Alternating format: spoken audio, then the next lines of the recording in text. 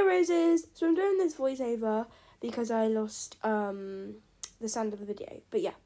So I'm just telling you guys that I'm gonna show you what I got from the mail today. So yeah. So let's just start. So I'm taking oh okay. So I got these like boots wipes. I got three of them, and I'm basically saying how like they're really good, and I like how there there's like loads of good wipes in there, and the wipes are really nice. And then yeah, I got three of them. And then I got this uh Vicks rub to put on your chest because I have a cold at the minute. So yeah, that's what I'm basically saying to you guys. And it's really small, so it's really cool. So you can like travel with it.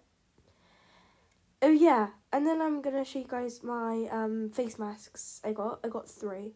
I got a pink clay mask, and then you'll see the others in a minute.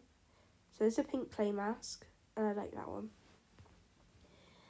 And then the next one is the birthday cake mask, which is also a clay mask. It is so nice. Um, and I got this peely one because, like, well, yeah, it's called Tropical Cocktail, and it's really, really nice. I put some on last night; it was really good.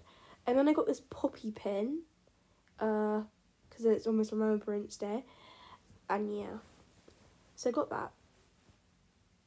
Um, oh yeah, so I got that one. It says 2024 on it, and it's really nice. I put it on my blazer.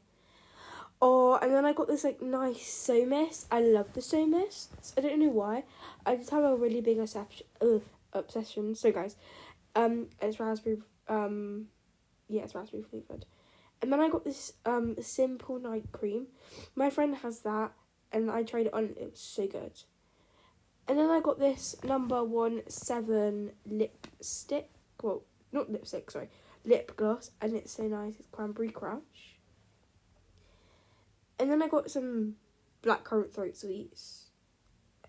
And then I got Burt's Bees like vanilla, and I absolutely love Burt's Bees. So yeah, bye guys.